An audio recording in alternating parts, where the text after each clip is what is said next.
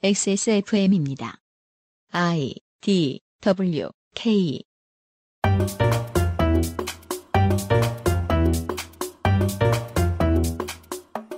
비정규 판매직과 생산직이 호주에만 있는 것은 아니지요. 이번 주 미스윤의 알바 기록실은 다시 한국으로 돌아와서 우리가 특별한 날들에 거리에서 직접 혹은 물건의 형태로 간접적으로 만나는 사람들의 일상을 이야기합니다. 2018년 12월의 두 번째 토요일 그것은 알기 싫답니다.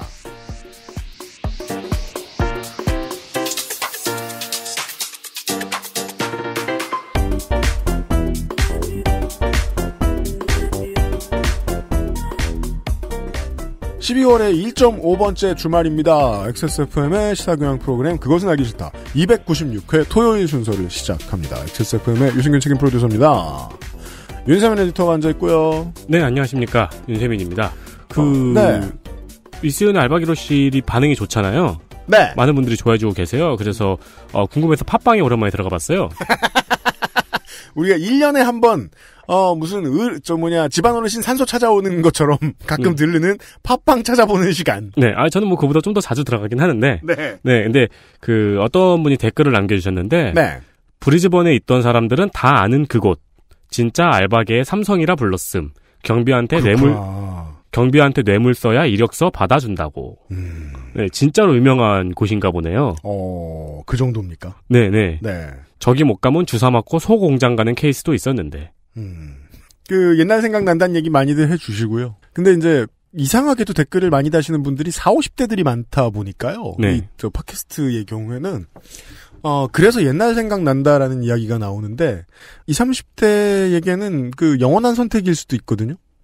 우리가 이제 그 다른 세대의 삶을 만나보는 어, 겸사겸사해서 미스윤의 알바 기록실을 진행하고 있었습니다. XSFM 유튜브 채널에 에, 방송의 하이라이트가 가끔 영상으로 올라가곤 합니다. 참고를 하십시오. 아, 보면은 저 윤세민 에디터가 그 뭐냐 윤이나 비정규인 얘기를 들으면 재밌어 죽어요.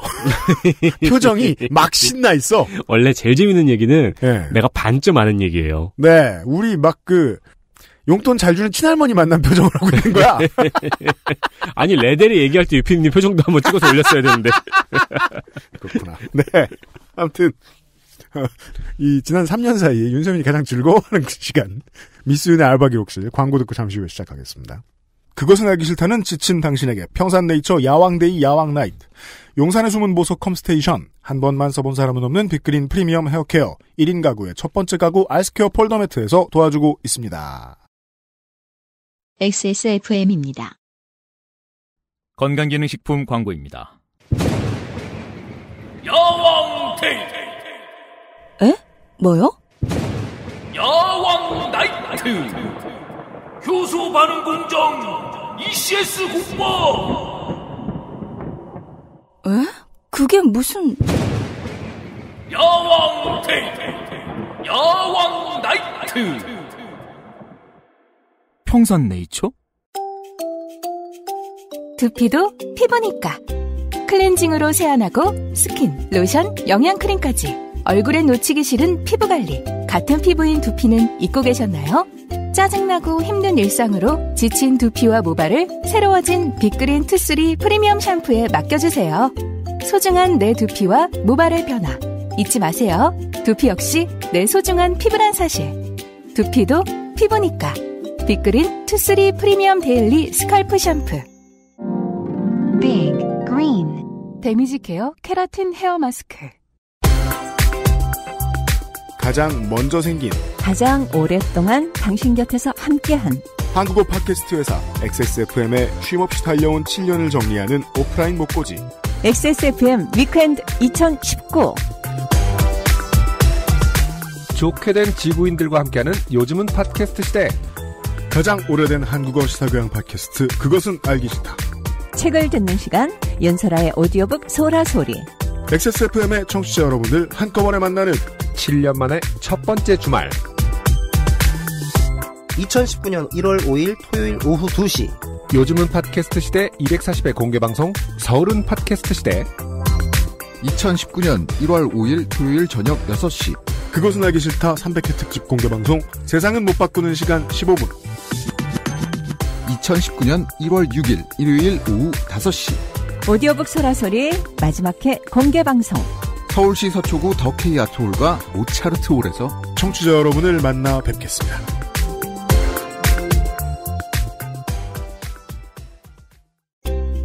잊지 마세요. 두피 역시 피부란 사실. Big Green 데미지 케어 케라틴 헤어 마스크. 빅그린이 뭐 이런 것까지 해야 됩니까? 이벤트도 많은 회사가. 네, 빅그린입니다. 뭐 싸게 팔 줄 알았죠? 아닙니다. 아, 물론 싸게도 팔고 있습니다. 네. 환경 캠페인을 전개합니다. 헐. 원래 빅그린이 비닐보다는 종이, 화려함보다는 단순함, 어, 이런 가치를 내세우는 브랜드였습니다. 하지만 네. 너무 할인을 많이 해서 여러분들은 이런 걸 까먹었을 겁니다. 그렇습니다. 원래는 환경을 위해 노력하는 브랜드입니다.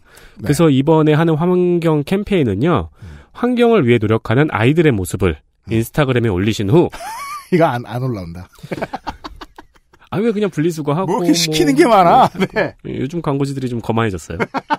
괜찮아요. 뭐 여러분들은 뭐, 네. 자격 있습니다. 네. 내가 할 말은 아니구나. 네. 아, 빅그린의 메일로 아이디, 성함, 연락처, 주소를 보내주시면 빅그린이 이걸 확인하고 12,000원 상당의 hand wash를 증정하고 있습니다. 그렇습니다. 네, 어, 이런 환경 캠페인을 전개하고 있고요. 자세한 거는 빅그린의 인스타 계정 빅그린 언더바 KR을 참고하시고요. 행사도 여전히 하고 있습니다. 행사는 엑세스몰에서 확인해 주시면 됩니다. 그렇습니다. 빅그린이 이런 인스타그램 행사를 하고 있습니다. 네, 뭐 같이 분리수거를 하는 모습이라든가 쓰레기를 줍는 모습이라든가 그렇습니다. 네, 뭐 그런 모습을 어, 찍으신 후 인스타그램에 올리시면 되지 않을까 싶네요. 네. 아이파라 손 씻읍시다. 어, 그리고 이런 말을 하게 될 줄은 몰랐어요. 뭔데요? 야왕은 효과가 있는 것 같아요. 아 진짜? 네. 아까도 막 그 덕질인이 꾸벅꾸벅 저기 소파에 누워 졸다 말고 형 야왕데이다라고 네. 왜 저래? 저도 몇 번 훔쳐 먹어 봤거든요. 아 그래요? 데이하고 나이 둘 다. 아 어째 난 안 먹는 줄, 줄더라. 이게 제가 한번 먹어 보니까 어 지금 구매를 고민 중입니다. 알겠습니다. 효과가 있는 것 같아. 제가 이런 류의 상품에 이런 말을 할 줄은 몰랐거든요. 그렇습니다. 우르릉 쾅. 꼭 말하고 싶었습니다.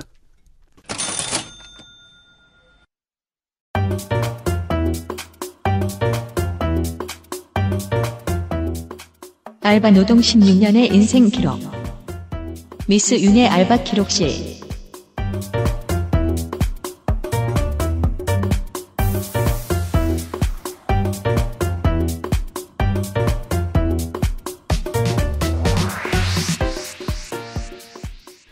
(2018년 12월의 두 번째 주말입니다.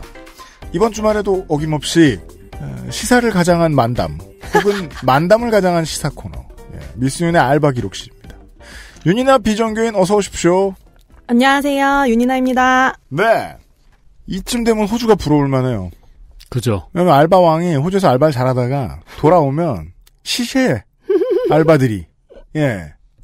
그, 많이 주는 게 잘 없어. 네. 네. 아니 실제로 가서 안 오는 친구들도 있더라고요. 되게 많이 안 오죠. 네. 예, 호주에 많이 머무르려고 하고, 뭐, 음. 좀 어떻게든 비자를 받아보려고 하고, 학생 비자 같은 걸로 연장도 하고, 근데 요새는 또, 그렇게 하면, 저- 전체적으로 전 세계가 좀 오른쪽으로 가고 있잖아요. 음. 그렇죠. 어, 자기네 나라 자국을 보호하려고 하고, 음. 이제 해외 노동자들, 외국 노동자들이나 이런 사람들 안 받으려고 하니까 음. 점점 더, 어, 힘들어지고 있죠. 비자를 받고 연장하면서 이제 있기가. 음. 맞아요. 음. 네.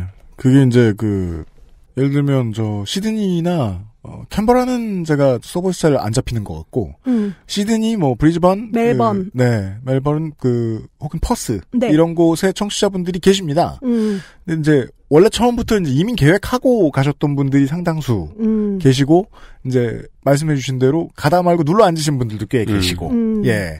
그분들이 그런 얘기를 해주십니다. 예전보다 더 빡빡하다. 엄청 외국인들에게. 빡빡해졌다고 들었어요. 예. 예, 예, 예. 아니, 심지어 한국 선수들밖에 없는 야구팀도 있는 나라인데.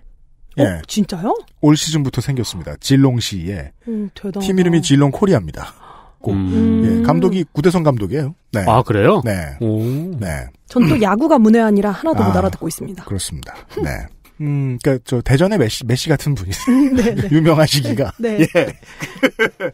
아, 한국으로 돌아와서도, 네. 사람 만나는 알바는 너무너무 많습니다. 예, 그 중에, 아, 이제 좀 그, 그, 짭짤한 곳으로 말할 것 같으면, 대목대. 네. 네, 오늘은 대목의 알바 두 개가 있습니다. 첫 번째는 발렌타인데이입니다.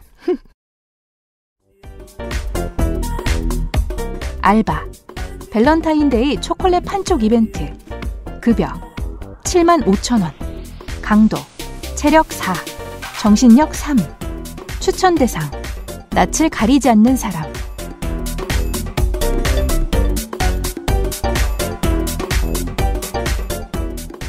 제가 기억이 나는 게요.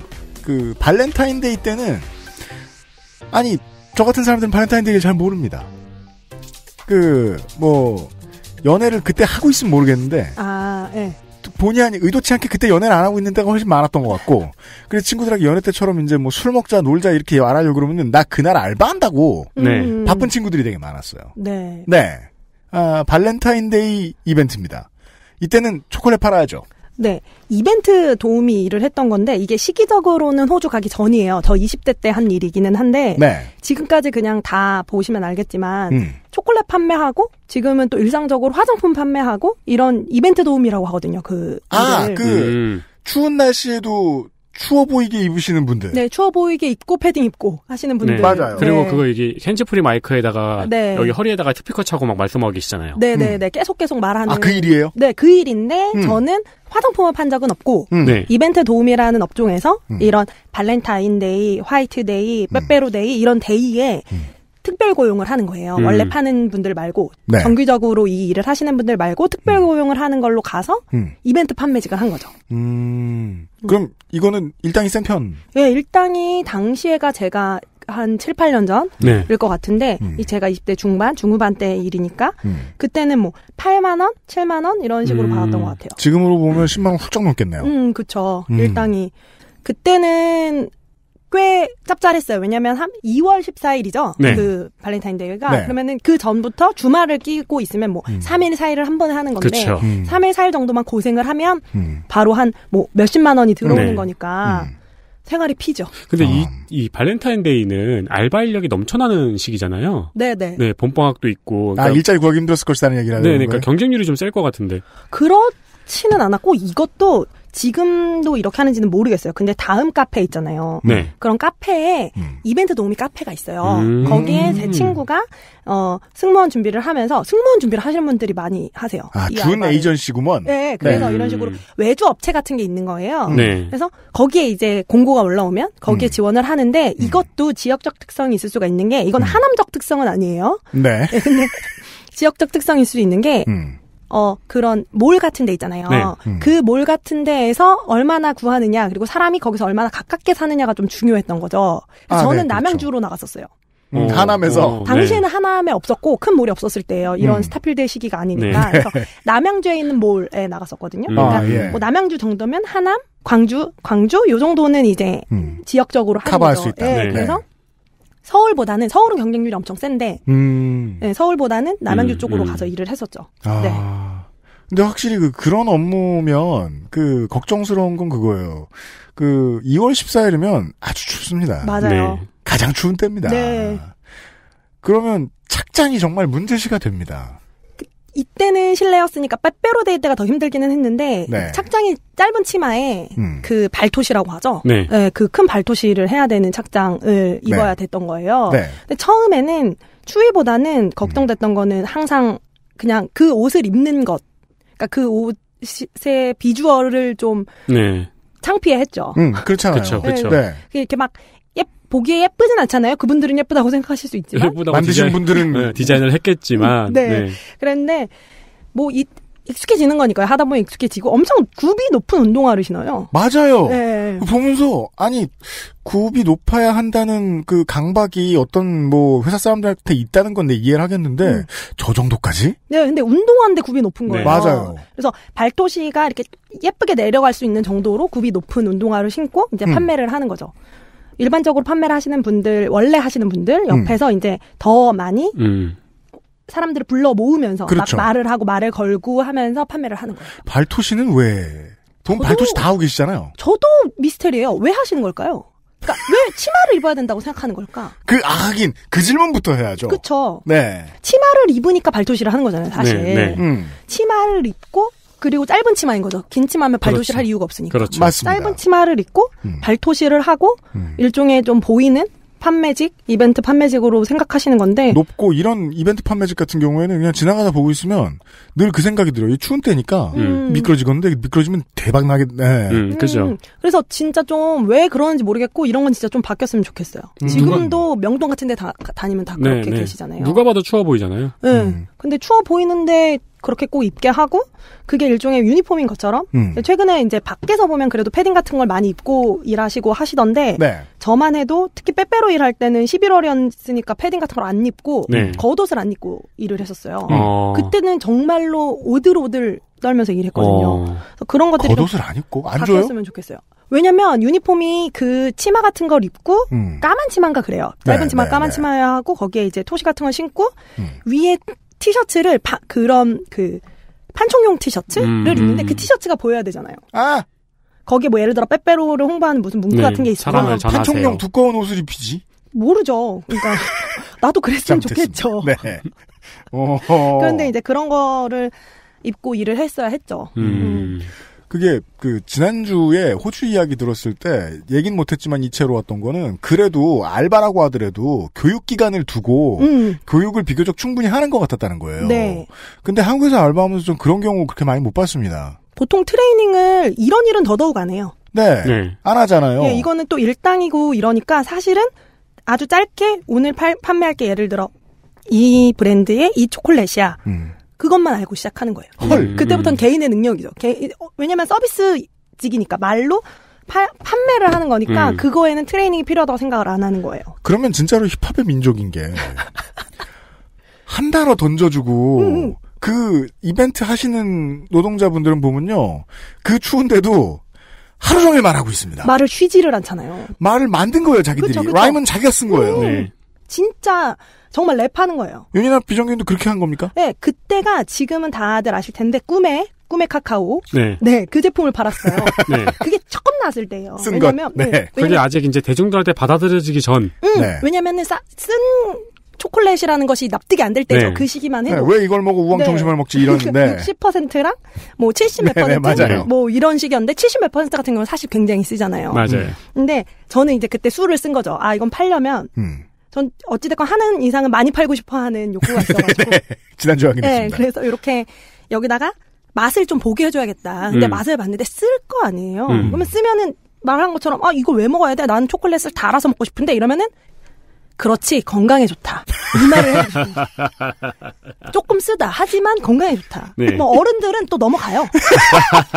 어른들도 넘어가시고 또 어린 친구들 같은 경우에도 또 여성들도 그렇고 아주 단맛을 싫어하는 경우들이 있거든요. 초콜릿을 먹고 싶지만 네. 초콜릿이 네. 주는 어떤 어, 감각은 느끼고 싶지만 그런 친구들한테 팔 수 있을 것 같다는 생각이 든 거예요. 그래서 음. 제가 두 개인가를 깠어요. 음. 60%랑 70%. 그래서 70%를 줘. 음. 그래서 드세요. 드신 다음에 아 이거 너무 쓴 것 같다. 아무리 그래도 그렇지. 그러면은 60%딱 먹으면 굉장히 단 것처럼 느껴져요. 사실은 아닌데. 그러면 딱 그걸 사가시는 거지. 그런 식으로 해서 판매를 했어요. 열심히. 잘 팔렸습니까? 진짜 잘 팔렸어요. 왜냐면 어, 이 시기에 이 예쁘게 포장을 해서 파는 건 아니었어요. 네. 그 몰에서 파는 거니까 네. 그냥 매대만 있고 그냥 초콜릿을 파는 거였는데 저희 그 브랜드가 너무 잘 팔리는 바람에 음. 옆에서 그 다른 브랜드에서 화를 낸 거예요. 왜냐면 그냥 랜덤이거든요. 제, 그러니까 운이 좋아서 저희 브랜드에 판매하시는 언니, 그러니까 그 원래 담당자죠. 네. 원래 담당자는 저를 배정받은 이유가 그냥 운인 거예요. 네. 왜냐면 저는 그 브랜드가 될 수도 있고 옆 브랜드가 될수 있는 그죠. 건데 그냥 아 그렇죠. 랜덤이잖아요. 그거는 사실 단 거 팔 수도 있었는데. 그치 스카우트 하는 문제가 아니잖아요. 네, 네. 그러니까 그랬는데 봤더니 잘하거든. 음. 어, 쟤 잘하는데? 왜 나는 쟤를 안 걸렸지? 음. 어, 쟤가 팔았으면 훨씬 잘 팔았을 것 같은데? 이런 생각을 좀 하셨던 것 같아요. 그래서 음. 그 다음에 할 때, 할, 그니까 그 다음에 화이트데이에 저를 또 부르고 싶으셨던 거예요. 네. 음. 그래, 그때 선정을 한 거예요. 스카웃을 하고 싶다. 음. 대신 그때 만 원을 더 주겠다고 했었죠. 오. 9만 원이었나? 아, 근데 좀 짜다. 일당으로. 근데 되게 큰 돈이죠. 아, 왜냐면, 그, 그렇긴 한데 스페셜리스트를 다시 부르는데. 근데 그쪽 입장에서는 굉장히 큰 출혈. 왜냐면 음. 본인들은 그렇게 생각 안 하죠. 왜냐면 그냥 자기네들은 원래 8만 원을 쓸 수 있었어. 음. 그런데 9만 원 준다는 건 사실 파격인 거예요. 음. 근데 저는 안 갔죠. 왜요? 힘들어서요. 네, 그렇죠. 아, 그렇죠. 아, 짠 게 맞았어요. 네, 짜기도 했고. 짠 거예요. 어. 아니, 스페셜리스트를 다시 부르려면은 좀 더 불러야죠. 사실 10이었으면 고민했을 것 같아요. 그때 돈 진짜 없었어요. 아까 뭐, 그때 예를. 들어, 예를 들어 8이셨죠? 응, 응. 그럼 뭐 한 11, 12 정도 불렀으면. 네, 그렇게까지는 또 생각 안 하신다니까요. 음. 또 그쪽에서는. 그래서 그때 좀 더 불렀으면 취준생 때고 좀 힘들 때라 갔었겠지만 아, 구로는 아니다. 네. 근데 또 어쩔 수 없이 또 힘드니까 빼빼로데이에 또 했죠. 음. 남양주 였다고 하셨잖아요. 어, 그 발렌타인데이 초콜릿 판 건 남양주였어요. 남양주인데 연예인이었어요? 의외로 또 모르시는데 양평, 남양주 이쪽에 굉장히 탤런트 제가 몰라요. 많이 살아요. 맞아요. 네. 아시죠? 그런 네. 걸 어떻게 알아? 그게 이제 약간 연예인들이 부담 없이 살기 좋은 어. 위치거든요. 게다가 양평 쪽은 또 되게 유명해요. 양평 쪽에는 되게 유명한 연예인들 많이 살아서 예. 처음에 이제 하남에 큰 몰이 생겼었을 때 음. 그게 전국에서 두 번째인가 세 번째로 큰 네. 매장이거든요. 하남은 그냥 땅밖에 없으니까 크게 뭐가 없으니까 저 같은 뉴스쟁이는 뭐 경기 동부라 그러면 NL만 많은 줄 알지. 아, 안 되겠다. 연예인도 많군요. 네. 연예인이 많아요. 그래가지고 양평에서도 이제 막 쇼핑하러 온다 막 이렇게 해서 많았었고 스- 스타필드 처음 오픈했을 때도 연예인들 음. 되게 많이 와서 화제가 됐었는데 음. 뭐 그거랑 별개로 남양주 이쪽에는 좀 특히 한 중년 정도의 탤런트들 이번에 네. 아. 사시는 것 같아요. 근데 그 중에 이제 그 팔던 파시던 그 초콜릿을 먹어보고 사간 연예인이 있었다는 거예요. 아침 드라마의 남자 주인공이었어요. 근데 문제는 제가 음. 아직도 못 찾았어요. 검색을 해서. 여기 와서 이 얘기를 하려고 네. 찾고 싶은데 그 느낌만 있는 거 몰라. 몰랐어. 네, 네. 느낌만 있는 거예요. 네. 그러니까 근거가 하나도 없이 느낌만 있는 얼굴. 봐. 그분을 본다면 여러분들 다 아는 사람인 거예요. 네, 네, 네. 근데 근거가 없으니까 검색을 못 하는 거예요. 아침 드라마 주인공들이 보통 그렇죠. 그쵸, 그러니까 네. 선우재덕형 얼굴이라고. 정확해요. 정확한데 그 얼굴인데 조금 더 이제 아침 드라마에서 되게 강렬한 연기들을 음. 보여줬지만 이름은 절대 기억 못하는 아니면 저기 뭐 서프라이즈에 나온 러시아인들. 맞아요. 네. 그 길에서 보면 저도 합정에서 한번 보고 알아봤잖아요. 근데 누군지는 모르지. 누군지는 왜 아는지도 모르죠. 네. 모르고. 근데 그런 식으로 얼굴만 아는 분이었는데 제가 당시에 언론고시를 준비할 때였어요. 네, 네. PD 시험 준비할 때여서 음. 아침 드라마나 뭐 여러 가지 이제 모니터링을 많이 하니까 알긴 알았던 거예요. 그때는 알았어요. 그분이 이제 어떤 드라마에 나왔고 이걸 알아가지고 음. 그분을 이제 잡은 거죠. 음. 일종의 연예인 마케팅을 한 거죠, 제가. 네. 그래서 아. 그분을 잡고 그분이 마케팅에 도움이 됐어요? 굉장히 도움이 됐죠. 그래요? 그럼요. 왜냐면 저는 그분의 가치를 사실 몰랐지만 네. 어른들에게는 아침 드라마 얼마나 음. 큰 비중을 차지하고 있어요, 그죠. 삶에. 네, 네, 그러니까 네. 어, 지금 뭐 예를 들어 악역을 때리듯이 악역이 있으면 진짜 악역 너 그렇게 나쁜 짓을 해 막 이렇게 하면 때린다고 하잖아요. 음. 아침 드라마 악역 같은 사람들 네. 나, 오면 그러듯이 음. 자기가 아는 일종의 음 진짜 셀러브리티가 와서 음. 어 저 초콜릿 샀어? 그렇다면 나도 저쪽에 가볼까? 이렇게 생각을 하면서 오면 또 이제 음. 제가 60%랑 70% 가지고 이렇게 이렇게 해서 팔았던 거죠. 아 근데 그쪽에 그 스킬이 상당하시네요. 근데 저도 몰랐어요. 그런 식으로 할 수 있다는 것을. 그러니까 기본적으로 말을 좋아해서 그런 것 같아요. 말하는 걸 좋아하니까. 그리고 일종의 사람들하고 말을 해서 요것을 팔았을 때 쾌감 같은 게 있었어서 음. 아마 이것 때문에 제가 나중에 선글라스를 팔 때도 도움이 됐던 것 같아요. 음. 아니, 기본적으로 그런 세일즈 스킬이 상당하시네요. 그래서 친구들 영업을 잘한다. 네, 직종을 네. 그냥 잘못 선택했다. 이런 말을 좀 종종 하죠. 아, 근데요, 그, 이런 류의 판촉 이벤트가 과자 팔아서 잘 되는 날은, 네. 아까도 말씀해 주셨다시피 그, 발렌타인데이와 화이트데이. 네. 그 다음은 바로 11월, 농민의 날로 넘어갑니다. 11월 11일로. 원래는 농민의 날. 예. 알바 11월 11일 과자 판촉 이벤트 급여 8만원 강도 체력 5 정신력 4 추천 대상 이벤트 알바 유경험자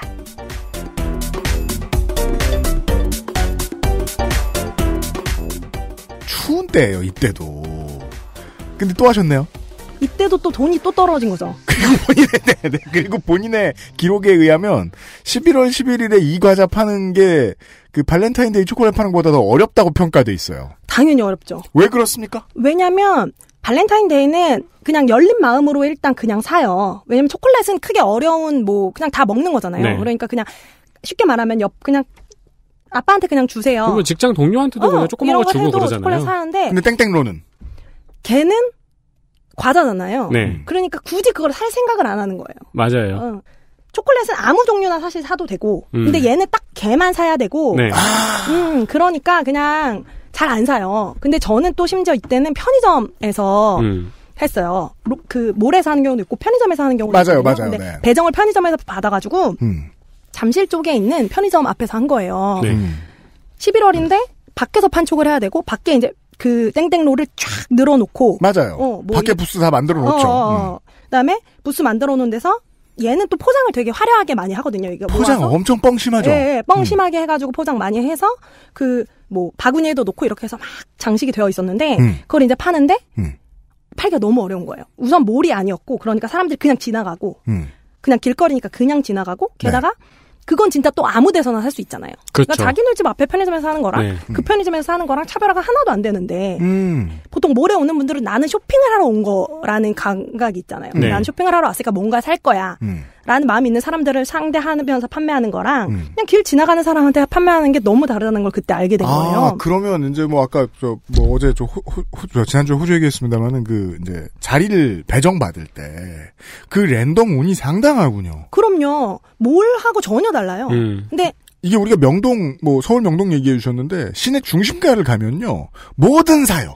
그쵸. 왜냐면 살려고 온 사람들이 많으니까. 네. 지갑이 떨면서 왔거든. 네. 음. 근데 내가 집에 가는 길에 편의점 앞에서 그 판촉을 만나면 똑같이 유능한 막 판매왕이 나와 있어도 눈도 안 주고 오지. 맞아요. 그래서 귀를 아예 기울이지를 않는 거예요.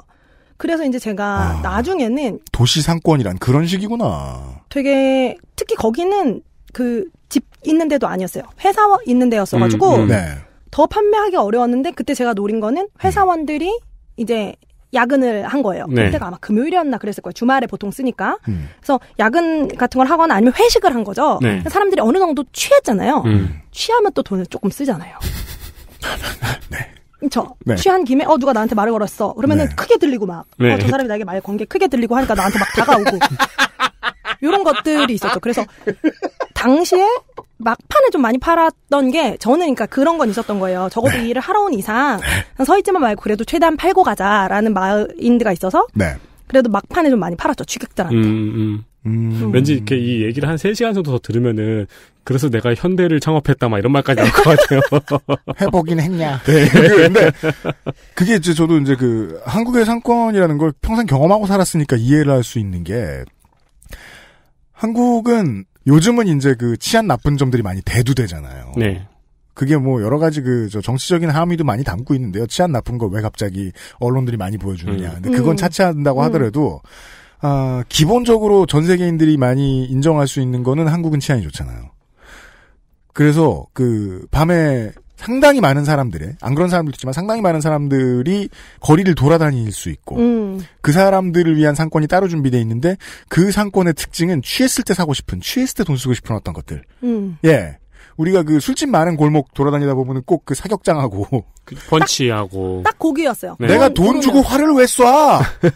취했거든. 음, 취하면은 오는 거예요. 그리고 누가 막 말 거니까 취했 으면은 말 거는 사람 소리가 크게 들리고 가까이 가고 싶고 네. 그러니까 그 사람들한테 막 이제 호객을 한 거죠. 음, 음. 아, 지금 집에 가시는 길에 빼빼로 하나 사서 지금 가서 지금 자고 있는 자녀한테 주고 음, 음. 어? 또 와이프한테 주고 얼마나 좋겠냐.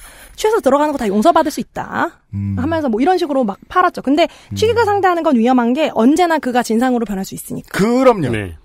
네. 그래서 그거 어떻게? 아 그래서 더 힘들기도 하다. 그쵸. 굉장히 예. 힘들죠, 사실. 그니까. 네, 그래서 음. 당시에 발토시를 하고서 느낀 게, 아, 음. 이거라도 안 했으면 죽을 뻔했다, 추워서. 음. 이러고 있었는데, 음. 치마가 짧잖아요. 네.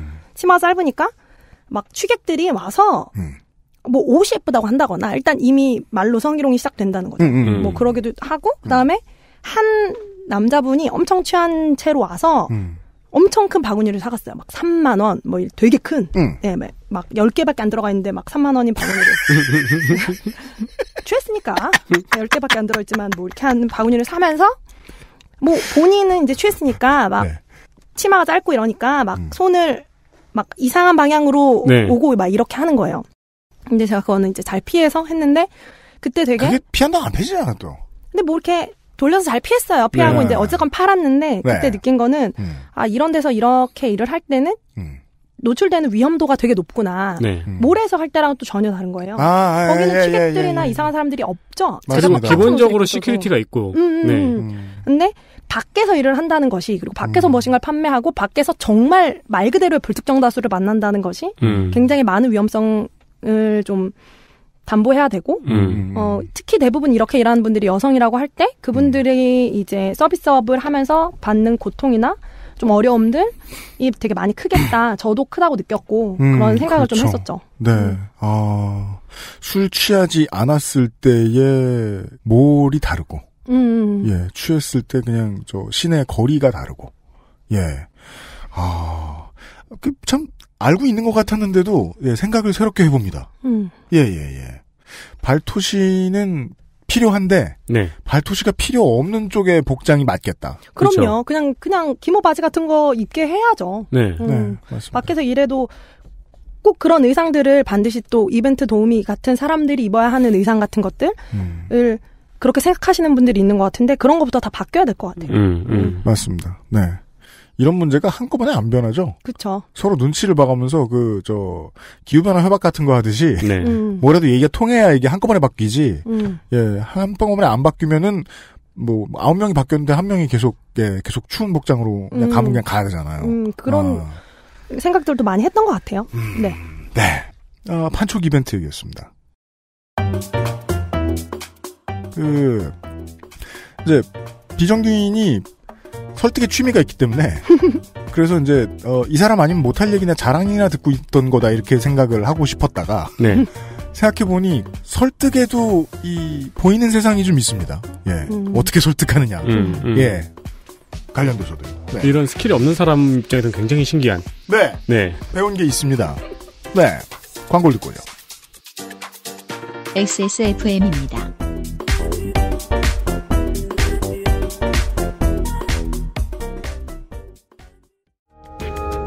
컴퓨터가 아니어도 중고 제품은 중수 이상만 구입하는 것이 좋습니다. 안심할 만한 애프터 서비스 기간이 필요하시다면 가격은 컴스테이션이 고민하겠습니다. 컴스테이션에 들려주십시오. 주식회사 컴스테이션. 아이스케어와 함께 나 혼자 산다. 1인 가구 첫 번째 선택. 아이스케어 프리미엄 폴더 매트. 분노보다는 웃음으로. 결론보다는 관찰력으로. 정의감보다는 균형 감각으로 버텨온 그알싫의 325주. 그간 함께 해주신 시간에 대한 자그마한 감사 인사. 그것은 알기 싫다 300회 특집 세상은 못 바꾸는 시간 15분. 앞으로도 한동안 없을 XSFM 위켄드. 문학인, 농축산인, 시사아저씨, 비정규인, 노동운동 히어로, XSFM 부설 한참 뒤에 눈에 띄는 문제 연구소장 등 흔하지만 만나긴 어려운 게스트들과 함께 합니다. 수도권 지하철 신분당선 양재 시민의 숲역 더케이 아트홀에서 2019년의 첫 번째 주말 1월 5일 토요일 오후 6시에 뵙겠습니다. 그것은 알기 싫다 300회 특집 공개방송 세상은 못 바꾸는 시간 15분. 예매는 인터파크에서 12월 13일 목요일 오후 2시부터 시작합니다.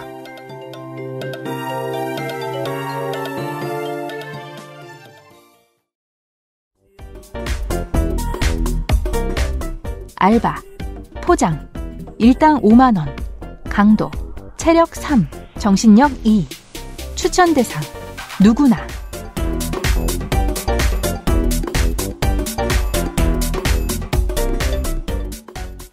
제가 그 포장을 알바처럼 해본 경험이 포장을 뜯는 일을 해본 경험이 있습니다.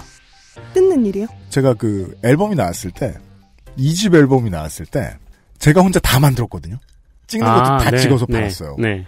유통도 제가 다 맡았어요. 근데 제가 직접 하는 게 아니고 유통망을 거쳐서 근데 유통망하고 뭐 계약하고 자시고 모든 걸 제가 다 했던 거죠. 제가 다 하다 보니까 서툴러서 사인 CD가 초도에 나가야 돼. 음. 음. 근데 포장이 안 된 물량을 제가 받아와서 사인해야 됐거든요. 네. 아. 근데 예. 포장을 해버린 거예요. 네. 제가 그 공정을 관리를 못해서. 음. 예. 안 그래도 사인만 하는데도 시간이 오지게 걸리는데 음. 이걸 다시 뜯어서 풀어서 사인하고 다시 집어넣고 뭐 하는데 시간이 너무 많이 걸려버린 거예요. 게다가 CD는 되게 잘 포장 어, 어, 뜯기 어렵잖아요. 네. 음. 그때는 또 제가 그 먹고 살기 힘든 때여가지고 네. 음. 그 집에 난방기구가 제대로 안 들어와 있는 상태였는데 집에서 되게 오들오들 떨면서 그 사인을 밤새 했던 기억이 나거든요, 제가. 음. 그래서 그때 TV를 틀어놓고 있을 때 그 아이리스가 전편 방송을 했나 그랬었는데 정말 보기 싫었는데 열심히 봐, 봐버렸어요. 사인을 계속하면서. 사인 계속하면 무념무상이 될 거야. 이렇게 단순 반- 반복이니까. 예. 포장 일은 제가 그게 마지막이었던 것 같아요. 이 포장 알바는 어떤 겁니까? 옛날에 예전이죠. 한 2003년, 2004년 지금 정확히 생각이 안 나는데 머라이어 캐리가 한국에 내한을 했었어요. 음. 제가 그때 기억이 나요. 그때쯤에 데뷔했던 친구가 예. 머라이어 캐리가 그 국내 무슨 TV에 방송이 되는 어떤 그 공연 행사에 나갔었나 봐요.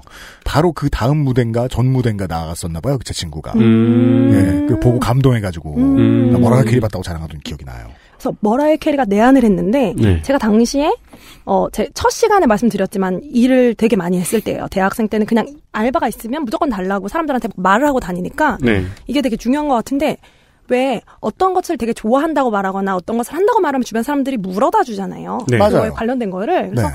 알바가 물린 거죠. 네. 그래서 저랑 같은 수업을 듣던 음. 선배가 머라이어 캐리의 팬클럽의 되게 임원 같은 거였던 거예요. 어, 중요한 인사네요. 음, 그쵸. 근데 네. 그, 그분이 생각을 한 거죠. 머라이어 캐리가 온다는데 무엇을 할 수 있지? 이랬는데, 음. 머라이어 캐리 콘서트 문화 중에 음. 맨 마지막 곡을 부를 때 음. 모든 사람이 함께 해바라기를 흔드는 문화가 있는 거예요. 음. 한국의 풍성 같은 거예요. 음, 아. 그거는 원래 우리 공연 가면은 네. 앞에 이렇게 아주머니들이 막 이것저것 그쵸, 팔잖아요. 그런 거예요. 예, 예. 근데 그, 그 얼마 전에 제가 이제 그, 그 힙합 공연을 갔다 왔는데 음. 그 앞에 그 파신 아주머니가 아이돌용 이 형광봉 같은 거를 파시다가 하나도 못 파시고 황급히 가시는 걸 봤거든요. 시장을 잘못 파악하셨구나. 예, 여긴 이 분위기가 아니구나. 이러고. 그치, 그치. 예, 예, 예. 예. 해바라기. 근데 이 해바라기는 정보를 아는 사람이 이기는 거잖아요. 그쵸. 이거는 왜냐면 다른 사람들은 모르는 건 거예요. 그래서 네. 이제 그 임원은 아, 해바라기를 판다는 것을 사람들에게 알리고 또 머라이어 캐리 팬들은 알 거라는 거죠. 그쵸. 그런데 해바라기를 귀찮잖아요. 사오는 일이. 네. 귀찮 보관하는 것도 귀찮잖아요. 네. 그러니까 올림픽 공원에서 팔면 된다. 그러니까 마침 들어가다가 어 해바라기 맞아 머라이어 캐리 공연에 해바라기를 쓰지 하면서 바로 산- 음. 그거죠. 음, 그래서 시장 조사. 네. 그 시장 조사에 따라서 제, 제 제가 가서 포장을 하고 있게 된 거예요. 해바라기를. 일당으로 주겠다. 근데 당시 일당이 되게 컸어요. 5만 원이었을 텐데 제 네. 기억이 맞다면 음, 네, 네. 5만 원이면 되게 큰 돈이거든요. 당시에는. 그래서 왜냐면 그때 저번에 말씀드렸지만 2,800원 하면서 막 시급하던 때니까 네, 네. 5만 원이면 큰 돈이니까 가가지고 포장을 하겠다. 네. 그래서 포장을 하는데 친구도 한 명 불러와라. 음. 그래서 지금까지도 이제 친한 친구인데 지금은 애 엄마가 된 음. 그때 같이 열린 음악회 그 미사리에서 같이 일을 하고 있던 네, 하나 분이. 네, 한 분, 한 분, 한 분이랑 같이 가가지고 네. 포장을 한 거죠. 하루 종일. 하루 음. 종일. 그렇게까지 길게 걸릴 거라고 생각도 못 하고. 그게 이제 올림픽 공원에서 판다라고 살짝 말씀해 주셨으니까 그 머라이어 캐리의 내한 공연이 올림픽 공원이었다는 것을 알 수 있고 네네. 올림픽 공원 내에서 그 정도의 팝스타가 와서 공연할 수 있는 곳은 뭐 역도 경기장, 세조 경기장 네, 뭐 그쪽이에요. 이런 곳인데 그러면 100단위가 아니고 1000단위도 아닐 수 있습니다. 천 단이 넘었던 것 같아요. 정말로 많은, 저는 그렇게 해바라기를 많이 본 적이 없어요. 뭐, 거의 뭐 해바라기 밭이죠. 뭐. 수천 근데 해바라기의 송이라고 불러본 적이 없어요. 제가 켤레라 그럴 뻔했어요. 해바라기 수천 켤레. 수 천 분이. 네. 그래서 그거를 하나하나 그 비닐로 포장하는 거였어요. 네. 음. 그 얇은 비닐로 포장을 해서 이제 안- 아래쪽을 묶는, 음. 왜냐면 해바라기 하나만 달랑 들고 들어갈 수 없으니까. 꽃 포장 안 해본 사람은요 음. 한두 시간 걸립니다. 근데 진짜 오래 걸렸어요. 그래서 네. 그냥 그것만 하염없이 이제 막 포장을 하면서 기다린 거예요. 근데 손 막 녹색 물 들고 난리 음. 났겠네요. 그분은 이제 임원분은 이제 나의 히어로가 온다, 나의 영웅이 온다 이거에 꽂혀 계시니까 저희는 이제 고생을 하는데 네. 머라이어 캐리 음악을 튼 거죠. CD로 그때 네. 당시에 이제 CD 그 음. 네. 작은 카세트로 틀어서 무슨 저 마약 만드는 공장 같아요. 그러니까요. 노래 좋은 거 틀어놓고 계속 일하고 있는. 밖은 또 되게 밝을 때죠. 왜냐면 이제 공연 전이고 음. 그때가 되게 봄이었나 여름이었나 그래가지고 되게 음. 되게 햇살 좋고 이런 때인데 막 그걸 막 포장을 하고 있었어요. 음. 그래서 그걸 하루 종일 이제 포장을 해서 진짜 머라이어 캐리 노래를 질리게 들었죠. 하루 종일. 근데 그분은 그거를 이렇게 파실 생각이었을 거 아니에요. 그쵸 팔았어요. 네, 팔아서 돈을 벌 생각이었을 거 그래서 아니에요. 이제 그게 포장이 다 된 다음에는 네. 아예 경기장 앞으로 갖고 이제 가시는 거죠. 그래서 저희는 포장까지만 담당. 아. 판매는 따로 있고. 아, 판매는 판매는 그분이 이제 차로 옮- 이동해서 팔고 음. 그분은 이제 콘서트 보셔야 되니까. 음. 콘서트가 몇- 얼마였더라? 그분은 어마어마하게 버셨을 것 같은. 근데 나중에 듣기로는 한국에는 머라이어 캐리 팬층이 음. 해바라기 문화를 모르는 거예요. 아. 그래서 손해를 봤다. 아이고. 나중에는 그 얘기를 들었었죠. 아. 음. 그 알바생들이 알바를 하는 사람들이 되게 중요하게 여기는 게 있습니다. 요즘은 시급이 얼마냐라는 질문으로 거의 다 퉁쳐지는 걸로 아는데 음. 옛날에는 그 앞에 질문이 하나 더 있었어요. 시급이냐 일당이냐. 음, 맞아요. 음, 맞아요. 예. 어, 여기는 일당. 일당이었죠. 네. 근데 왜냐면 옛날에는 그 시급 개념이 잘 없으니까 그냥 일당으로만 물어보던 사람들도 있고 그리고 또 이런 일은 특히나 또 반가운 몇 가지의 메시지들이 있어요. 사장들로부터 들려오는 바로 주겠다. 네, 일 끝나고 바로 준다. 음, 맞아요. 네. 이, 이 사장님도 그런 사람. 그쵸. 그니까, 왜냐면 선배니까 무조건 네가 생각하는 것보다 일찍 끝날 거고, 왜냐면 어찌 됐건 콘서트, 콘서트 시간엔 끝나잖아요. 나는 봐야 되니까. 그치. 자기도 네. 봐야 되고 팔아야 되니까 네. 콘서트 시간 전엔 끝나고 그걸 현금으로 주겠다.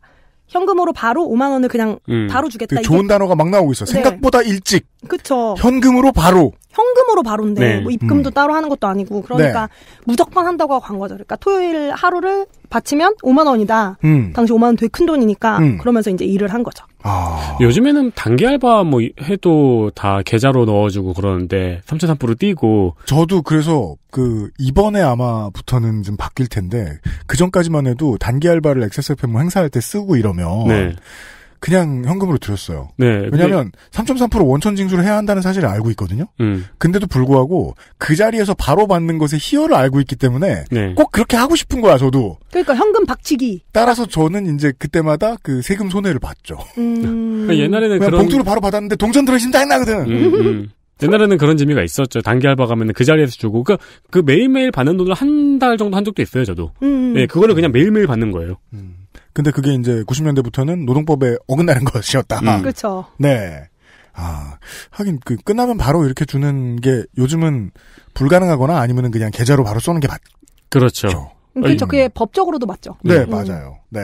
하지만 그때는 어, 자기 장부에 안 남기고 그렇게 주는 거 되게 감사해 했다, 우리는. 그렇죠. 그, 그. 돈으로 뭘 사 먹으면 그렇게 맛있어요. 그럼요. 바로 현금인데. 봉, 투에서 꺼내 가지고 이렇게 딱 사 먹으면은 음. 기분이 그렇게 좋아요. 근데 그래도 이땐 조금 서러웠어요. 왜냐면 머라이어 캐리 같은 사람이 왔는데 음. 그래도 저도 알고 있을 거 아니에요. 그래서 얼마나 훌륭한 가수고 음. 얼마나 대단한 경험인지. 근데 이거를 보는 사람들을 위한 꽃을 포장하지 그 공연을 내가 보는 사람이지 못하는 거잖아요. 음, 그렇죠.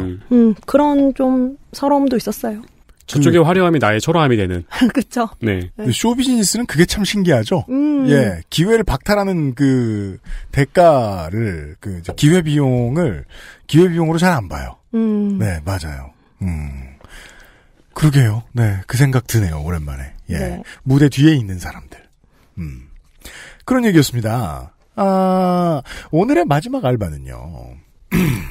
드디어 이겁니다. 네.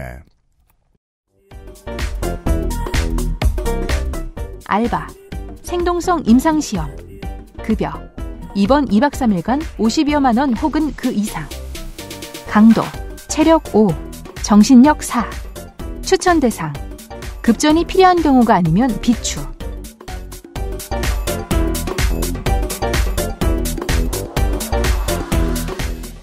봅시다. 그, 입원을 해야 하는 세상 유일한 알바입니다. 정확히는 입원이 아니긴 한데요. 입원으로 처리가 안 되나요? 아, 아니에요. 전혀 어. 병실 같은 것도 아니고요. 음. 그냥 기숙사 합숙소 같은 느낌이고 2층 음. 침대 쭉 있고 음. 그리고 이제 테레비 있고 의자 몇 개 쭉 앉아 있고. 음. 네. 비정규인이 같은 데도 그랬어요? 저는 지금 이게 아마 저보다는 에디터님이 말씀하신 게 훨씬 많을 텐데 저는 이게 실패를 해요. 그러니까 못 가요. 아, 그래요? 네, 책에 나와 있지만 음. 이거의 맨 마지막 단계까지 가는데 음. 맨 마지막 단계에서 이 알바를 직접 못 하게 되죠. 네. 이 일은요, 근처 안 가본 사람이면 이런 일이 있다는 것도 모르는 분들이 되게 많아요. 소개를 좀 해주셔야 되겠어요. 네, 이거는 생동성 임상시험이라는 건데요. 음. 근데 다들 보신 적은 있을 거예요. 그거 지하철 같은 데 많이 붙어 있, 맞습니다. 어요 그래요. 네, 지하철 같은 데서 뭐 이번에 당뇨병 신약이 나왔다. 음. 이번에 뭐 뭐 심장병 관련된 신약이 나왔다. 음. 이 신약에 대해서 시험, 시험을 시험에 참여하실 분들은 연락을 달라. 음. 어디 어디 병원 이런 식의 이제 광고들이 붙는데 네.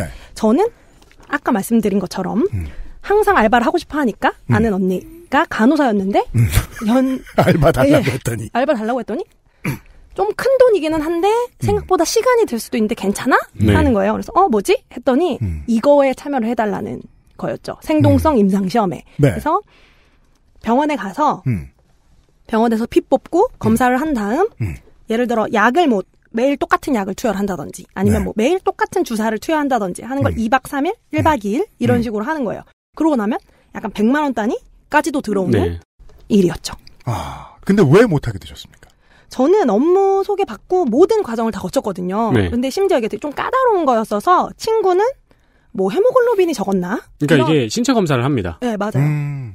그래서 그 헤모글로빈이 적었나 이래서 못하고 저만 마지막까지 갔어요. 근데요. 그랬는데 그 약의 부작용이 되게 심하게 드러난 거예요. 저 제가 하기 전에 오. 직전에 운이 좋았죠. 어떤 면에서는. 아니 그런 약은 생동성실험까지 가면 안 되는데요. 근데 무슨 문제가 생겼어요. 하여튼 그런 관련 때문에 음. 그 무슨 문제가 생겨서 갑자기 그 연구 자체가 딱 홀딩을 시킨 거예요. 큰일 날 뻔했네요. 네, 전 만약 했으면 아마 큰일 났을 거예요. 그래서 오. 홀딩을 시켜서 돌 그 못하게 됐죠. 못하게 되고 대신 지금까지 너가 피도 뽑고 네. 검사도 맞고 뭐 시간을 썼으니까 돈 얼, 얼마를 조금 돌려줄게. 음. 이렇게 해가지고 돈을 조금 받고 끝났어요. 그랬는데 당시에는 음. 되게 안타까웠거든요. 왜냐면 그 돈이면 그렇죠.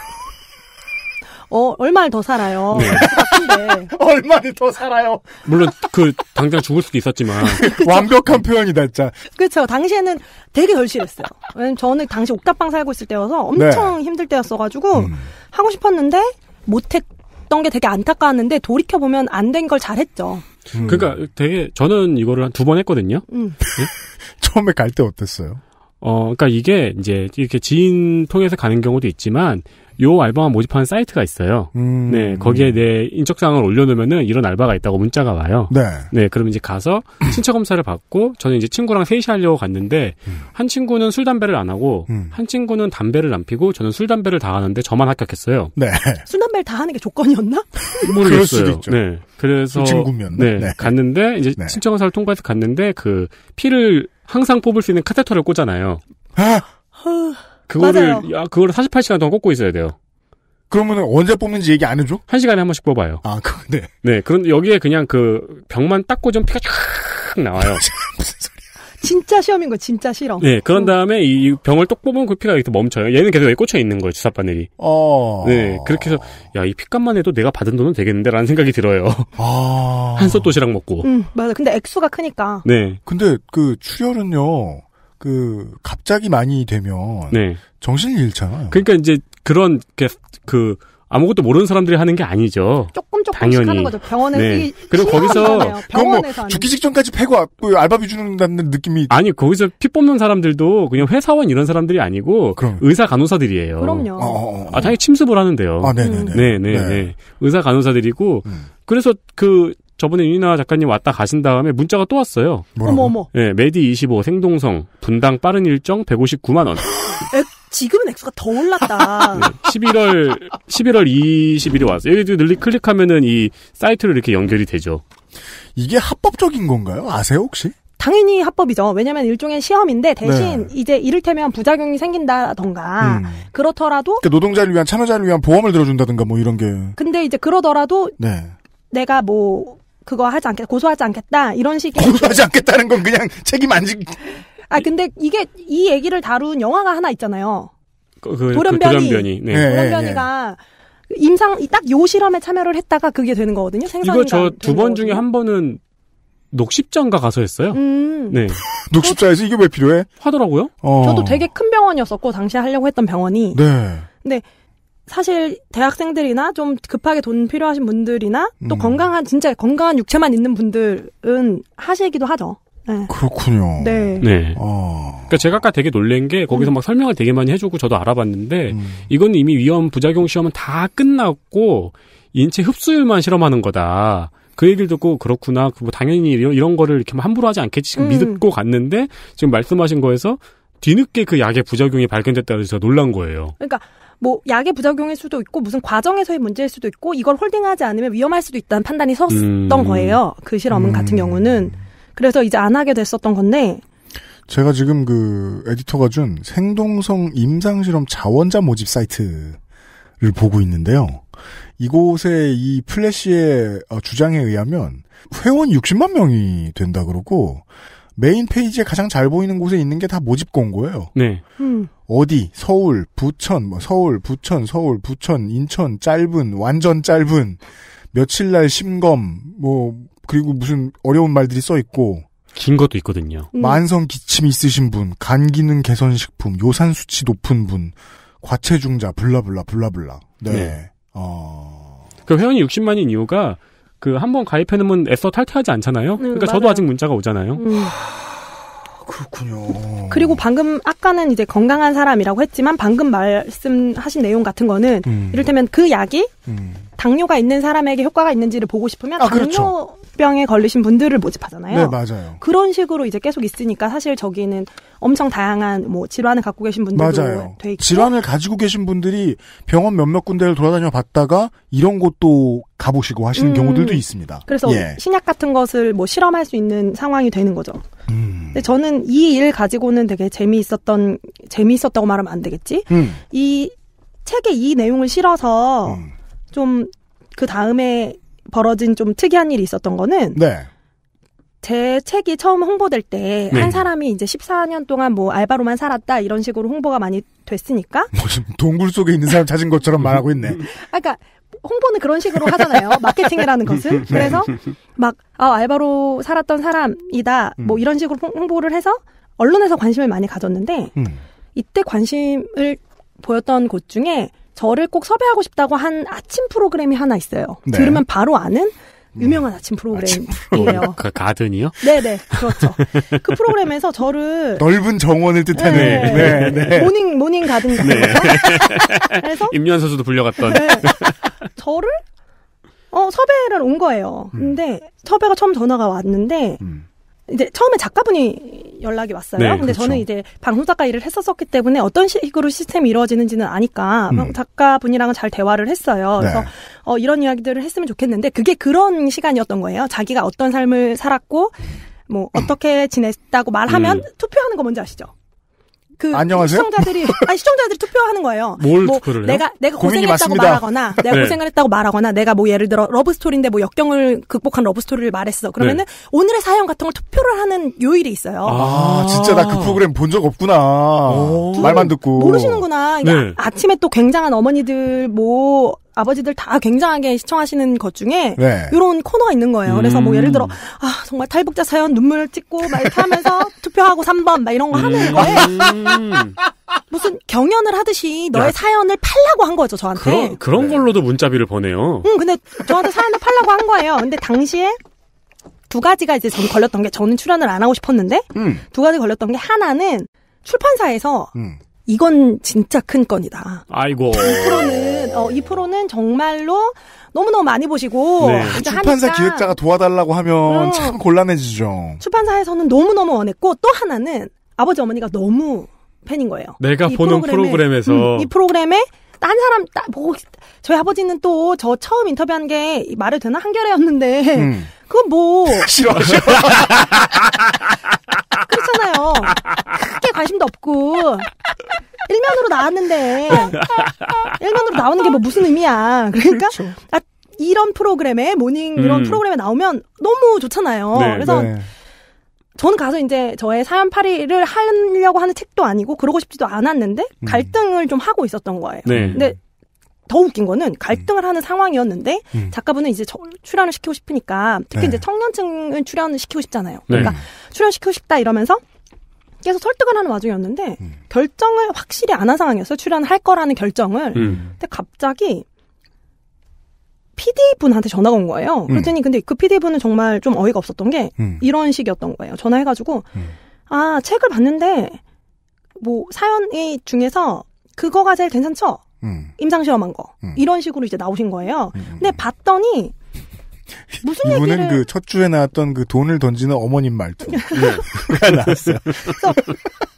뭘할 수 있냐는 거예요. 네가 무슨 얘기를 해줄 수 있냐요. 네. 그래서 내가 아 임상시험 이러 이러 이러 이러한 상황이었는데 안 하게 됐습니다. 그랬더니 안 했는데 뭘 해? 뭐 이러시는 거예요 저한테. 음. 안 했는데 네가 임상 실험을 한 것도 아니고 실제로 정말로 약간 매혈기 같은 걸 원하신 거예요 스토리로 스토리텔링이 음, 음, 매혈기처럼 피 팔아서 네. 청년이 힘들 때 고생을 해서 막 그렇게 해서 공부를 했다 그렇게 해서 취업 준비를 했다 그렇게 노력을 했다 이런 스토리를 원했는데 제가 그런 그- 일- 실제로 그런 내용도 아니고 이 책이 네. 이 사건에서는 심지어 그 실험을 안 했다고 하니까 흥미를 잃으신 거죠. 음. 우리 이 이야기는 사람 불쌍한 얘기가 아니잖아요. 근데 사람 불쌍한 얘기만 원하신 거예요. 그렇죠. 그, 그, 그렇게 자기가 팔고 싶은 것만 팔면 된다라고 생각하는데, 아까 우리 지난주에도 말씀드렸다시피, 그, 다른 노동의 가치를 몸으로 경험해 볼 만큼의 그 기회나 이 소양이 좀, 소양을 쌓을 상황이 아니었기 때문에, 그, 계속 온 세상 우습게 보는 PD들이 덜어 있죠. 네. 그래서 저는 예. 제가 이, 이 시즌에 겪은 이때 굉장히 많은 언론들을 만나고 인터뷰도 하고 사람들 만나면서 제일 겪은 제일 무례하고 음. 제일 어 좀 정말로 인간에 대한 예의가 없다라고 느낀 사건이었는데 음. 그러니까 정말로 이런 거예요. 아 우리 작가가 전달을 좀 잘못한 것 같은데 음. 이건 사연이 아니지 막 이러시는 거예요 반말로. 음. 그래서 아, 제가 출연한다고 한 게 아니라 그쪽 프로그램이 저를 섭외하신 거다. 음. 그리고 제가 이 얘기를 하게 선택을 했지만 저는 거기 가서 사연팔이를 할 생각이 없다 이랬더니 음. 네가 감히 이, 이 프로그램 제안을 거절하, 하냐는 거죠. 근데, 우리가 모닝 가든인데. 응, 그래서 그러더니 아 그러면은 됐고 이제 출연하시지 마라. 음. 그래서 이제 끝났어요.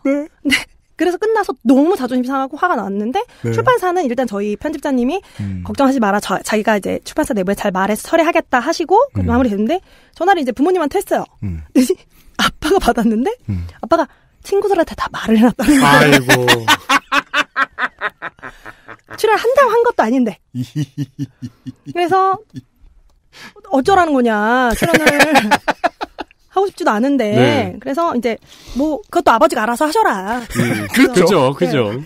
마무리했었죠. 그래서 저는 지금도 마찬가지고 어떤 특히 청년층이나 네. 어, 특히 여성이나 어떤 이야기들을 할 땐 그 얘기를 사연팔이 음.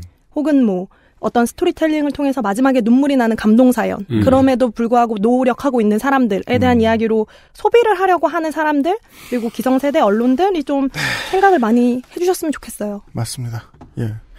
어, 우리 이번 시리즈의 주제이기도 합니다. 음. 네. 그러니까 그 미디어의 그 폭력이 저는 정말 마음에 안 들거든요. 네가 노력을 해서 큰 비전이랑 큰 꿈을 가지고 뭐 뭐가 되고 이렇게 해야지 말이에요. 뭐 누구나 막 막 큰 사람이 돼야 되고 막 성공한 사람이 돼야 되는 이런 거 있잖아요. 네. 음. 근데도 그 한국은 사람들이 서로를 띠꺼하다 보니까 성공한 사람들이 뭐 내가 이런 비전을 갖고 있었고 내가 이렇게 해서 이렇게 해서 잘 됐다 그럼 무조건 욕한단 말입니다. 운이 좋았다고 얘기해야지. 음. 그리고 실제로 그게 맞는 얘기고. 네. 아니 운이 좋아야 할 수 있는 성공인데 왜 모두가 다 하려고 그래?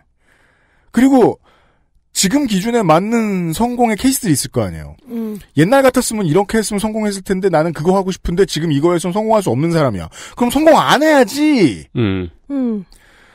지금 당장 내가 될 수 있는 대단한 무언가는 꼭 내가 되고 싶은 무언가가 아니잖아요. 네. 음. 예.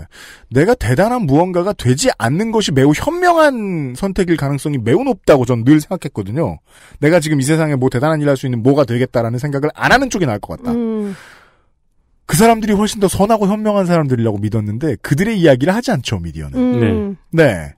내가 지금 당장은 아무것도 되고 싶지 않은데 그게 내가 나쁘거나 무능한 사람이라 그런 게 아니라는 거예요. 음. 그러니까 그 네. 이효리 씨의 뭘 훌륭한 사람이 돼 음, 그냥 아무나 아무나 돼. 돼라는 짤이 그렇게 인기를 얻은 거죠. 음, 음, 맞아요. 그럼 그 문장 속에서 아무나는 되게 그 현인 같아요. 음. 예. 네.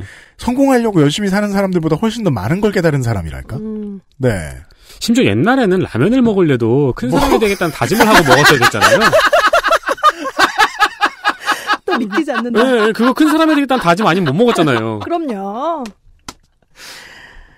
난 내가 늙었다는 생각만 드는 게 음. 지금은 그거 하나 먹어도 성에 안 차. 사람이 얼마나 커졌는지 아, 큰 사람이 되긴 됐네요. 위가요. 네. 아, 아 미수윤의 알바 기록실 네 번째 시간이었습니다. 아 끝으로 청취자 여러분들이 이야기해주신 알바썰 하나를 또 간단하게 소개를 해드리면서 시간을 접도록 하겠습니다. 나의 알바 기록실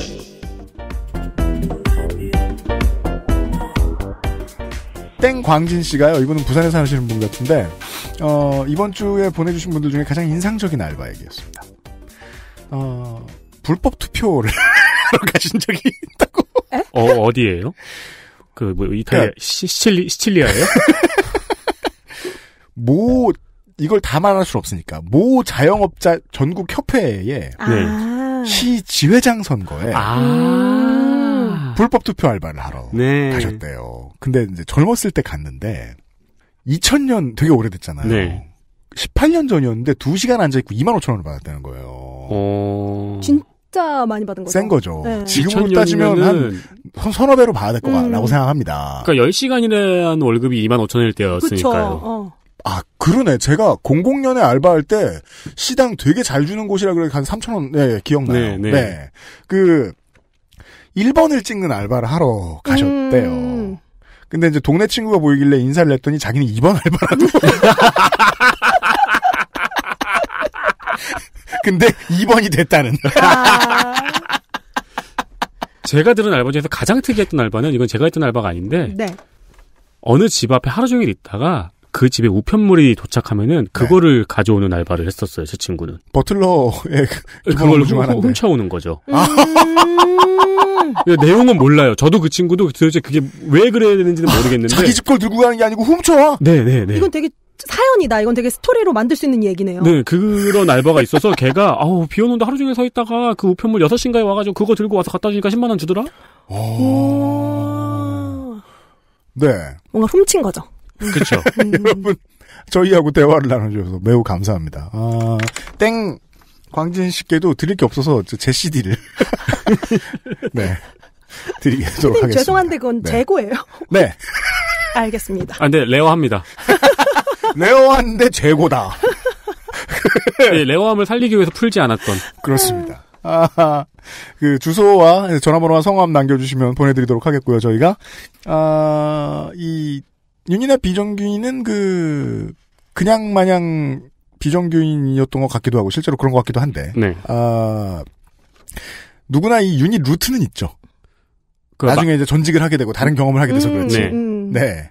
어, 기본적인 유닛 특성은 작가입니다. 네, 네, 그렇습니다.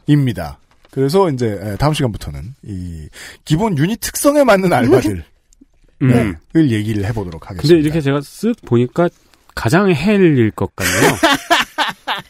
그쵸. 제가 처음 일로, 일로 하실 말씀이 많은. 했으니까, 네. 음. 네. 어, 특히나 그, 이제 우리 방송에 나오셨다가 우리 출연자 여러분들이 네. 다른 방송 불려가시는 분들이 많습니다. 그렇죠. 네. 네, 금방 잘리시는 분도 많고. 그래서 이제 그 다른 방송에서 불러보신 다음에 혀를 내두릅니다. 네. 그 아저씨는 이 사람 어떻게 포장했지? 나 되게 재밌게 들었는데? 전혀 안 되는데? 무슨 소리냐? 방송 노동자들이 많이 듣고 계시죠. 네. 음, 네. 네. 그래서 하기 싫다를. 어, 여러분들을 위한 시간입니다. 다음 주부터는. 네. 아, 방송과 여러 이 문화 콘텐츠 쪽에서 일을 하고 계신 노동자 여러분들을 위한 시간입니다. 아, 다음 주 토요일에도 윤이나 비정규인과 함께 하도록 하겠습니다. 아, 그리고, 아, 네. 다음 주에 녹음해도 되는 건데. 얘기해요. 생동성 실험에 대해서 아마 자세히 알고 계신 분이 계실 것 같아요. 사연 엄청 올 것 같습니다. 그러니까 이제 의료계에 네. 종사하시는 분이 계실 테니까. 아, 또. 맞아, 그- 간호하시는 분들이나 네. 다. 아, 그러면 최대 이런 프로젝트를 그 주도하시는 분들이 아, 그러니까 저희가 이제 예. 오- 저는 하고 돈도 받았지만 이 정확한 내용을 잘 모르니까 그렇죠. 네, 이게 어떤 안정성이 아, 맞아요, 보장되는지 맞아요. 네네. 그런 거 아시는 분 계시면 알려주시면은 네. 지난주, 다음 주부터는 이 더 많은 사연들을 좀 소개를 해볼 수 있도록 하겠고요. 네. 어, 제 CD 재고 말고, 다른 것도 드릴 수 있는 거 없나 찾아보도록 하겠습니다. 네.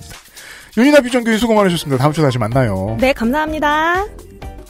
수고하셨습니다. 네. 자, 또 다다음 주에 또 오게 됐네요. 그렇죠. 네, 뭐 그렇게 하는 거죠. XSFM입니다.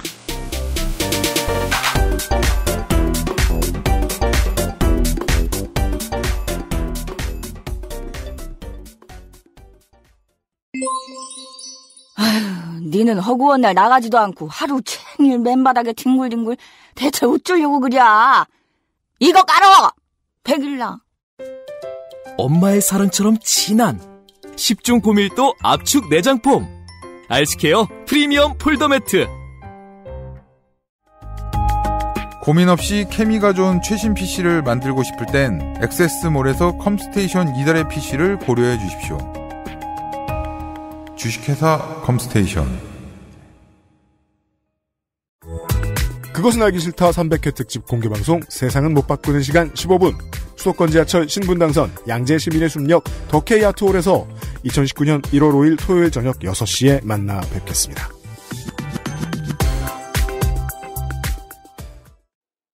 건강기능식품 광 여왕 테이테 어? 문제는 최대 흡수율. 설명해서는 안 되는데 최대 흡수율. 여왕 나이트. 평산 네이처? 아스트랄 뉴스 기록실 뉴스 아카이브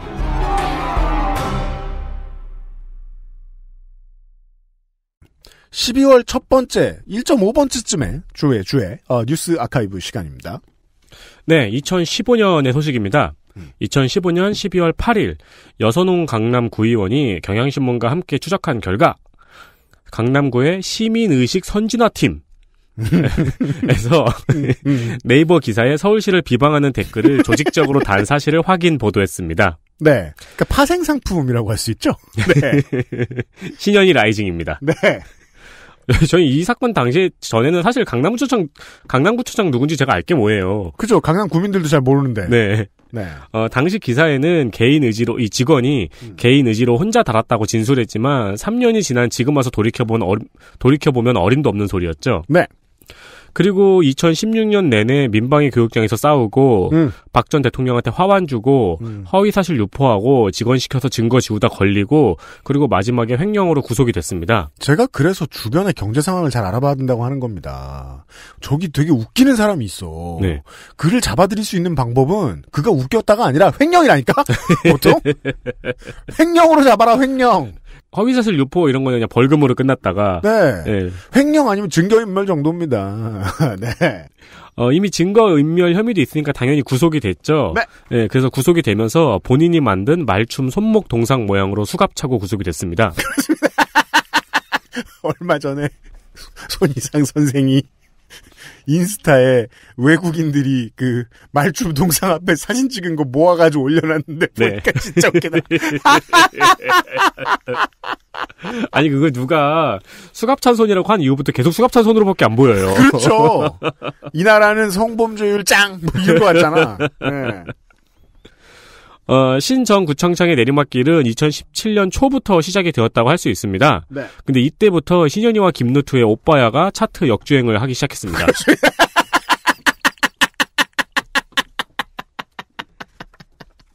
맞습니다. 신연희 구청장이었고요. 신년이가 지고 네. 신현이가 떴다. 그렇습니다. 그리고 신 신현이 옆에 신현이 씨 옆에 있던 어, 홍대 여신도 같이 떴다. 네. 김루트 씨 보고 싶네요. 네. 다음은요. 작년 이야기입니다. 작년 방송사 제어가 심사에서 지상파 3사가 모두 총점 1000점 중에서 650점을 넘기지 못해 기준 미달 점수를 받았습니다. 네. 즉 방송사 제어가 심사에서 모두 떨어졌다는 얘기죠. 네. MBC와 KBS는 그 평가 공정성, 공익성도 떨어졌지만 그 노조와의 관계와 경영 문제가 상당히 안 좋았어요. 네. SBS 같은 경우에는 뭐 안에 들으시는 직원 여러분들한테 죄송한 얘기입니다만은 어 노사 관계가 인위적으로 좋죠. 그래서 그 점수를 못 받지 않았을 텐데도 불구하고 낙제점을 받았습니다. 네, 조금 그렇습니다. 달랐었어요. 네. 어, 말씀드린 것처럼 감점 요인은 주로 공정성과 공익성, 제작 자율성 부분이라고 알려졌습니다. 그 전에 TV조선이 미달 점수를 받은 바 있었지만 조건부 재승인을 받았죠. 그래서 지금 방송이 되잖아요. 네. 예, 그 지상파 3사도 모두 조건부 재승인을 받을 것이 유력해서 사실 크게 긴장되는 분위기는 아니었습니다. 음. 근데 이것이 이제 전 정부의 방송 장악 때문이다. 새 방통위의 정치적 계산이다 등등 뒤에서 말들이 조금 있었죠. 음. 결국 조건부 재승인을 받았습니다. 근데 방통위에서 요구한 조건 중 가장 강조한 것이 외주 제작 갑질 관행 개선이었습니다. 그렇습니다. 이 문제에 대해서 지금 취재하고 있는 어, 외부의 그 방송 3사 외부의 언론인들이 좀 있긴 있습니다. 어, 접촉을 하고 있는데 그 방통위의 의지가 확고한지도 알 수 없고 방송 3사의 개선 의지가 확고한지도 알 수 없다. 아, 요 정도는 얘기를 해야 될 것 같고요. 이거 개선 의지가 아직도 되게 많, 개선의 여지가 아직도 너무 많다. 아, 근데 국가의 입장에서는 어, 한국 방송은 기간 산업이에요. 이걸 자기들이 자기들 손으로 제어가를 안 내주기가 좀 곤란합니다. 자기들 정책이 실패했다고 인정을 하는 것이기 때문에. 그렇죠. 추가적으로 새로운 한국 방송을 만들기도 좀 머쓱하고요. 돈도 많이 들고. 이름 똑같이 하기도 좀 뭐하잖아요. 네, 한국 방송 2. 신한국 방송? 한국 방송 Redemption. 한국 방송 Become Human. 아무튼 안 될 거기 때문에 저 조건부 재승인을 해줄 거라는 게 에디터 말대로 분명하긴 했는데 그 조건이 지금 잘 지켜지는 것 같다고 느껴지진 않습니다. 저는요. 좀 파보는 중이에요. 네, 마지막입니다. 88년 이야기입니다. 88년 12월 7일에 고르바초프가 소련 지도자로서는 처음으로 미국을 방문합니다. 그리고 12월 8일 레이건 대통령과 중거리 핵전력 조약을 맺습니다. 어, 1980년대는 미국과 소련이 중거리 핵미사일 경쟁이 치열했던 때였는데요. 중거리는 사정거리 1000에서 5500km의 미사일입니다. 그러니까 소련이 먼저 개발한 SS 시리즈하고 미국의 퍼싱 미사일이 유명한데 사거리가 짧고 정확도가 높아서 방어가 힘든 미사일입니다. 네. 타격까지 10분이 안 걸린다고 하죠. 88월 88년 12월에 고르바초프는 미국을 방문하여 레이건과 91년 제가 왜 웃냐면 88월이라고 썼거든요. 12월에 고르바초프가 미국을 방문해서 레이건과 91년까지 이에 해당하는 미사일 2,619개를 모두 파기하기로 협정을 맺습니다. 음. 그리고 전부 다 파기를 했고요. 이를 시작으로 세계적인 군비 축소와 90년의 냉전 종식까지 이끌어내 고르바초프가 노벨 평화상을 받기도 합니다. 네. 이걸 조금 삐뚤게 보자면요. 미국은 당시에 핵미사일 방어 시스템인 SDI가 실패로 돌아갔고 음흠. MD 체계가 완성 전이었어요. 네. 그러니까 즉 미사일 방어 시스템이 어, 과도기였던 거죠. 네. 없었던. 소련은 미국이랑 군비 경쟁을 하다가 굶어 죽을 상황이었습니다. 네. 그러니까 둘 다 사실 협정을 맺는 게 이득이었어요. 음. 미사일을 들고 있음으로써 이득이 없었으니까 둘 다. 음흠. 그리고 협정 당시에는 해상의 미사일, 즉 어딘가 바다 밑에 숨어 있는 핵 잠수함은 제외를 했습니다. 네. 왜냐면 이건 속여도 알 수 있는 방법이 없거든요. 음. 그리고 이 상호 확증 파괴의 마지막 억제 수단이기도 하고요. 네. 그러나 지난 10월에 트럼프 대통령이 이를 파기하고 탈퇴하겠다고 해서 한참 난리가 났습니다. 음. 실제로 이후에 91년 이후에요. 음. 양국이 야금야금 조약을 위반하면서 미사일을 개발하기도 했고요. 음. 또 조약과 상관없이 중국이 핵을 개발하기 때문이죠. 네. 네. 어, 그래서 트럼프가 조약을 파기하고 탈퇴하겠다고 선언한 후에 음. 한 일주일 정도 뒤에 중국의 조약에 새로 가입하기를 요구했습니다. 그렇습니다. 그러니까 셋이 새로 조약을 만들자. 네. 그러나 중국에서 거절했습니다. 네. 잘 정리해 주었습니다. 88년부터 2018년까지 어, 30년 동안 이어지는 이 전편 후편의 이야기입니다. 네. 네. 왜냐면 아까 설명을 해준 그대로죠. SDI는요. 어, 그 제2금융권이 아니라 상호 확증 파괴를 파괴하기 위해 생각해냈던 미국의 아이템이었는데 이게 돈은 많이 들고 제대로 격추해낼 능력이 없다는 것이 너무 분명했는데 돈이 너무 많이 드는데 이걸 그만 쓴다고 말하기도 어려운 상태, 물러서기 어려운 상태였었거든요. 네. 예, 돈을 더 쓰다가 당시 기술을 개발할 능력이 양국이 모두가 없었기 때문에 결국은 철의 장막이 무너진 것이 아니냐. 가장 냉소적으로 보는 시각은 이렇습니다. 근데 그 시각이 지금에 대입하면 맞다는 거죠.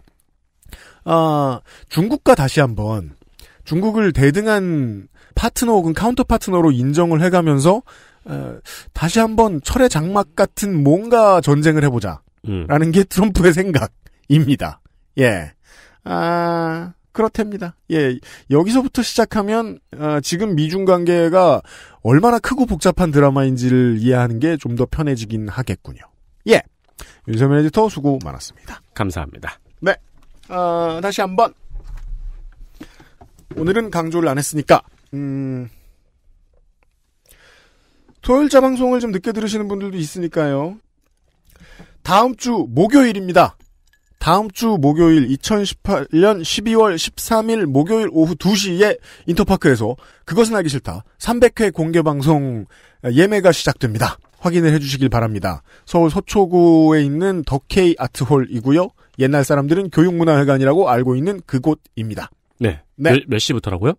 오후 2시부터 예매 시작합니다. 목요일 오후 2시요? 네. 다른 방송들은요? 어, 그거는 다른 방송을 참고해 주시면 되는데 그 요파 씨는 그 다음 날 금요일 오후 2시고 소라소리는 금요일 오후 5시입니다. 네. 전부 다 어, 인터파크에서 확인을 해 주시면 되겠습니다. 많은 출연진들이 지금 어, 세상을 못 바꾸는 강연을 준비 중입니다.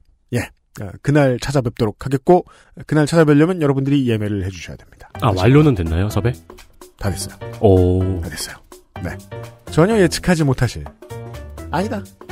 뭐 0. 몇 퍼센트는 예측할 수 있는 이런 게스트들부터 99%가 예측할 수 있는 게스트까지 아, 준비가 되어 있습니다. PPT 만들 사람 안 필요하신가요? 그 슬라이드는 가급적 안 쓰려고요. 아, 진짜요? 카메라랑 슬라이드랑 왔다 갔다 하니까 너무 힘들어. 쓰긴 쓰는데 어. 네, 네. 아니, 두 개 있잖아요. 아 split screen이 있는데 하나는 우리 찍고 하나는 저 게스트 찍어야지. 아, 하나는 우리 찍어요? 예. 우리 듣고 있을 텐데?